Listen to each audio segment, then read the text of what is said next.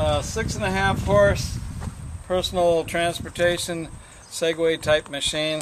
Fits in the back of any uh, any SUV, fold down handles, and uh, very easy to load.